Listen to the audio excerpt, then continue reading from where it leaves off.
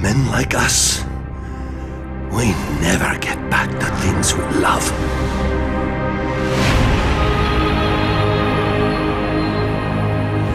You overthink everything, Adam. The work we're doing is good. We're helping people overcome their physical limitations. Yeah, except most of our clients seem to be DOD.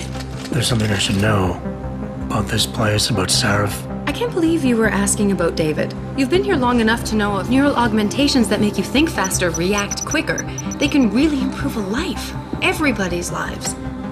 David's talked about it for years. Yeah, he is a talker. All those purists out there accusing us of tampering with the natural order, when all Megan's done is figure out how to unlock the potential that exists within our own DNA.